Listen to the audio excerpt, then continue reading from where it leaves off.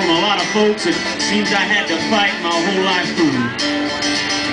Some girl would giggle and I'd turn red, some feller'd laugh and I'd bust his head. I tell you, life ain't easy for a boy named Sue. So I grew up quick and I grew up mean. My wits got hard and my fists got keen. I roamed from town to town to hide my shame. And I may be a vow to the moon and stars. I'd search the honky tonks and bars and kill that man that give me that awful name. Well, it was Gatlinburg in mid-July. I just hit town and my throat was dry. Thought I'd stop and have myself a brew. At an old saloon on a street of mud, there at a table dealing studs sat the dirty mangy dog that named me Sue. Was my own sweet dad from a worn-out picture that my mother had. I knew that scar on his cheek and his evil eye.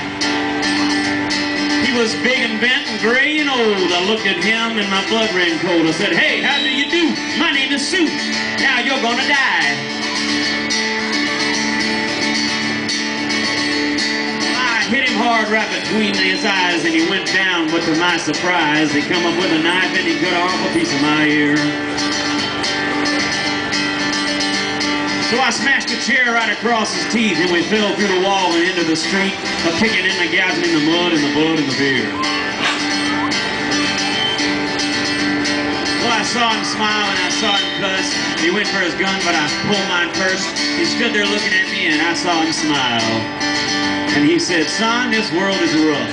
And if a man's gonna make it, he's gotta be tough. And I knew I wouldn't be there to help you along. Well, you just put up one heck of a fight, and I know you hate me and you got the right to kill me now, and I don't blame you if you do. But you ought to thank me before I die for the gravel in the guts and the spit in your eye, cause I'm the son of a gun that named you, Sue. What could I do? What could I do? I got all choked up and I threw down my gun and he called me a son and I called me my paw and I walked away with a different point of view.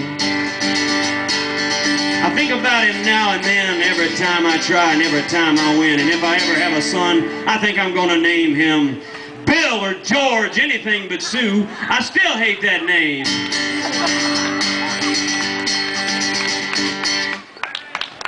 Let me make a correction.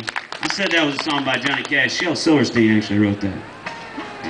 Just